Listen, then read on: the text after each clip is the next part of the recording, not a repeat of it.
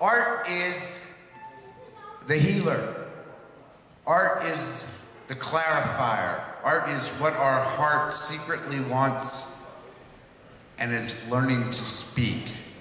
For 15 years, Gimme Shelters put together art to help folks who are neglected, who are ignored, who are downtrodden. We've done everything from bringing fresh fruits and vegetables to our community garden into shelters to building wells in Mali in Africa, freshwater wells. And we've done it through art.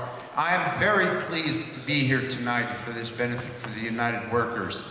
These are folks who are doing yeomen's and yeomen's job in jobs in places that really, really need recognition. We are here to shine a light upon the all, all of the hardworking people who are trying to raise their families, who are trying to make it in this in this society that worships money.